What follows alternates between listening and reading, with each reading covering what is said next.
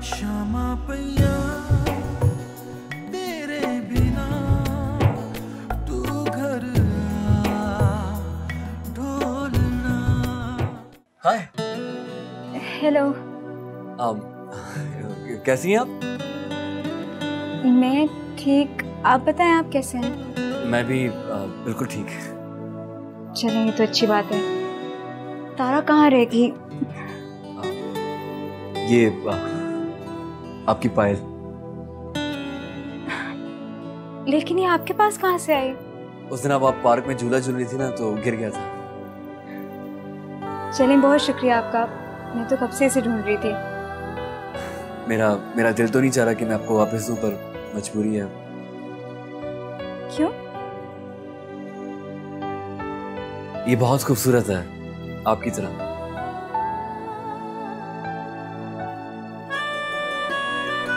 भाई आ गए आप?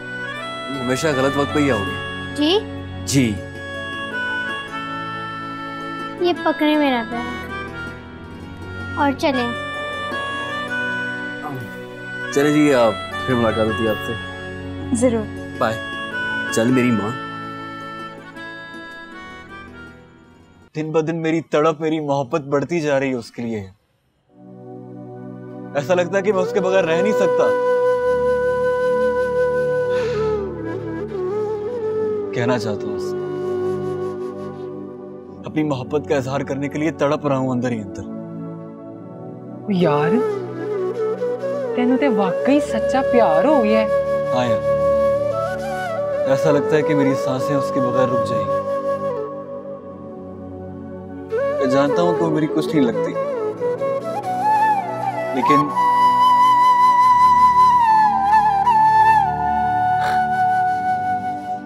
मेरे वजूद में बस गई है।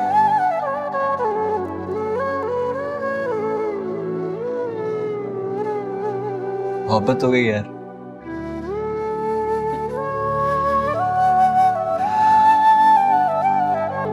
वाहे गुरु ही मुझे मिलाएगा उससे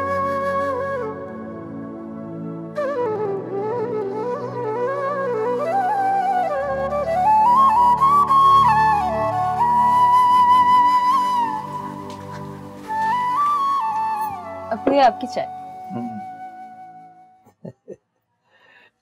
आप आज बहुत खुश लग रहे हैं। हम्म? हाँ बात ही खुशी की है। ऐसी क्या बात है अब्बू बात बात यह है बेटा कि ठीक है मैं जरा सख्त तबीयत का हूँ लेकिन हूँ तो तुम्हारा बाप। तुम्हारा बुरा तो नहीं सोच सकता ना? जी अब्बू मैं जानती हूँ कि अम्मी के बाद जिस तरह आपने मेरी परवरिश की तो आसान नहीं होगा। इसलिए मैं कोशिश करती हूँ कि आपको हर तरह से सुकून दो। शाबाश मेरा बेटा। मुझे तुमसे यही उम्मीद थी। मुझे पूरी उम्मीद है कि तुम मेरी हर बात का ख्याल भी रखोगी और मेरा मान भी रखोगी। शाबाश। यही सोचकर मैंने एक फैसला किया है।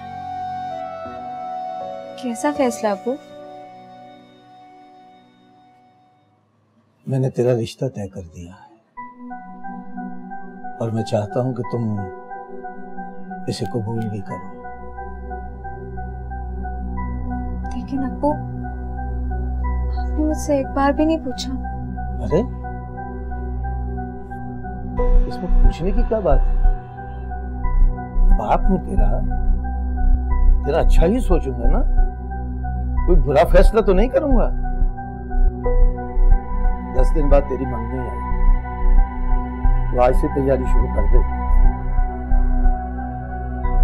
अहमद चौधरी अच्छा लड़का तुम्हें खुश रखेगा मुझे पूरा यकीन है वो तुम्हारा ख्याल रखेगा।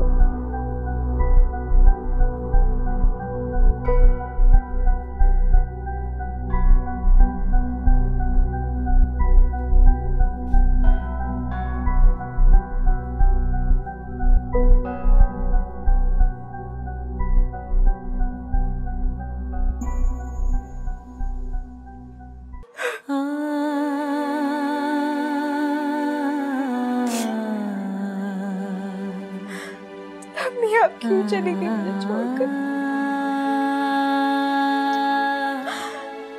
अगर आप होती तो कम से कम मेरा साथ तो देती।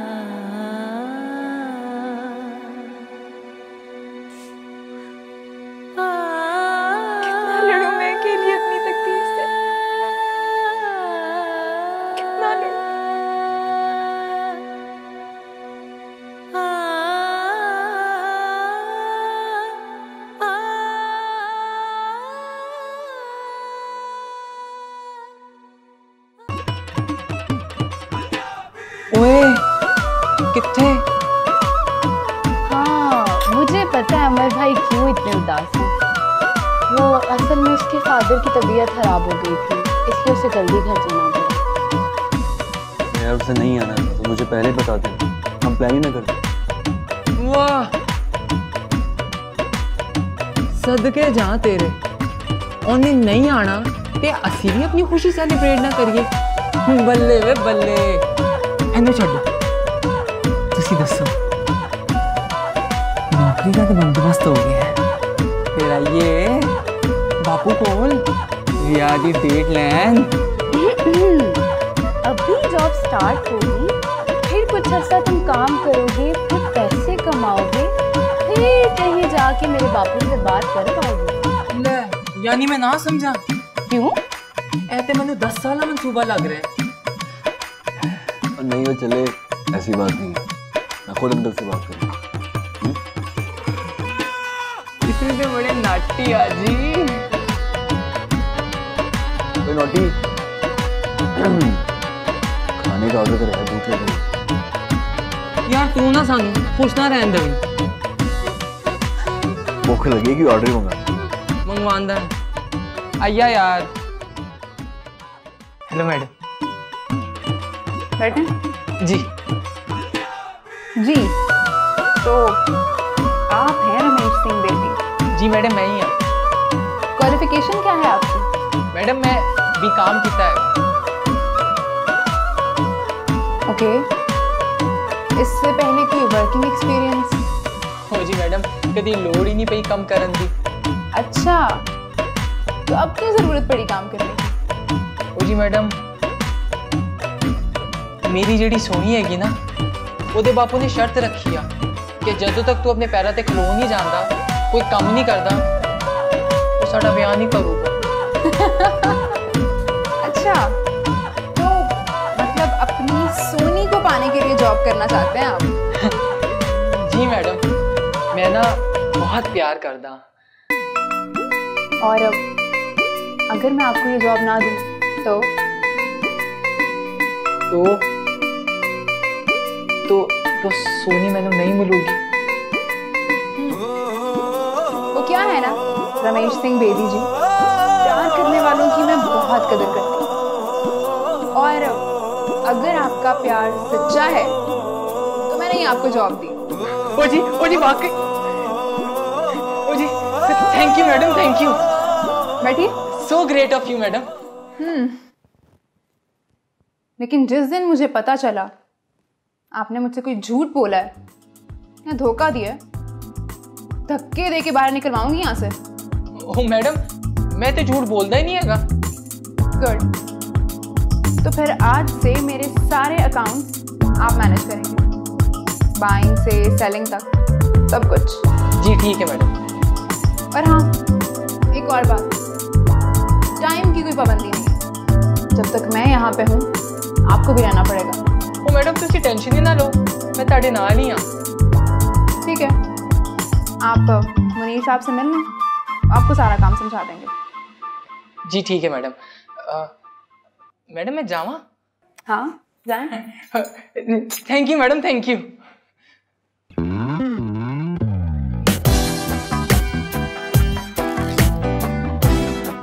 so cute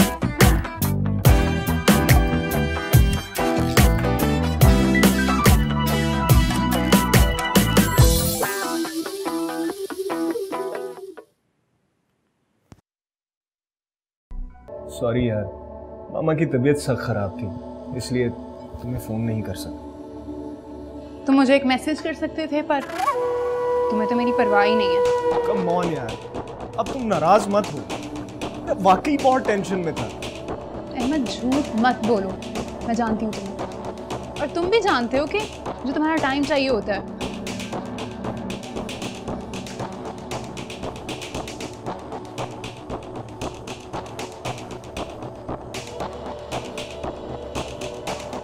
देखो स्वीटहार्ट मेरे पास जब भी फ्री वक्त होता है मैं तुमसे मिलने आता हूँ। ओह प्लीज़ बस कर दो ये ड्रामा और मैं बता रही हूँ तुमने मुझे धोखा देने की मेरे साथ कोई गेम खेलने की कोशिश की तो तुम्हारे साथ साथ तुम्हारे पूरे खानदान का नाम बदनाम कर दूँगी।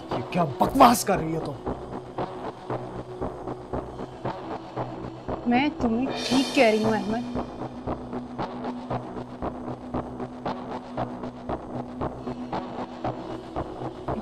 सारी ज़िंदगी तुम्हारी खातिर बर्बाद कर ली है। अब अगर तुमने कोई गड़बड़ की ना तो अच्छा नहीं होगा।